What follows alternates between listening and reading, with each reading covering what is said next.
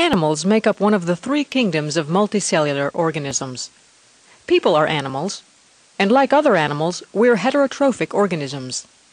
We ingest food to fuel our metabolism, rather than producing our own, as green plants do. Like other animals, a person develops from a zygote, formed after a sperm fuses with a larger egg. The zygote then develops into a hollow ball of cells called a blastula.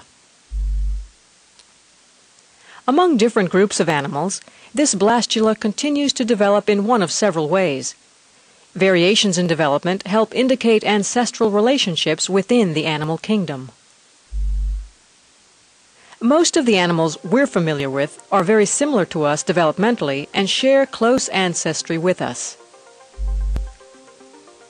But the animal kingdom includes a wide variety of organisms.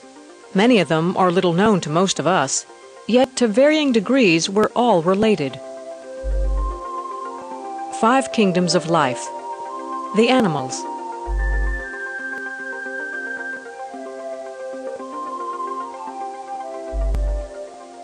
The animal kingdom includes probably the most structurally complex organisms on Earth.